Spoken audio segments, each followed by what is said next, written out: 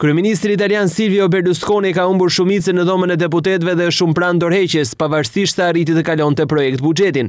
Aleati kryesor i kryeministrit Umberto Bossi i bëri thirrje 75 vjeçarit që t'i hap rrugë formimit të një qeverie teknike që do të mundësonte përmirësimin e situatës tepër delikate financiare të vendit. Ndonë se thirjet e më pashme për doreqe nga figurat ndryshme politike janë njëruar, zëri bosit nuk mund të mos përfilet, duke qënë se Berlusconi arrin të formoj shumicën vetëm falë koalicionit me partinet i Lega Nord. Si rjedhojnë në votimin për bugjetin të mbajtur rethores 16, pas bojkotit të shumicës e deputetve të bosit, Berlusconi arritit të grumullon të vetëm 308 vota, më pak se gjysma në dhomen me 630 deputet. Ndonë se bugjeti u kaluaj gjithsesi, pasi për ta miratuar dueshin shumica e deputetve prezent dhe jo shumica absolute, presionin bi Berlusconin për doreqe është mëj matë se kur. Madje si pas disa medjave në Itali, doreqe e kryministrit është qështja orësh.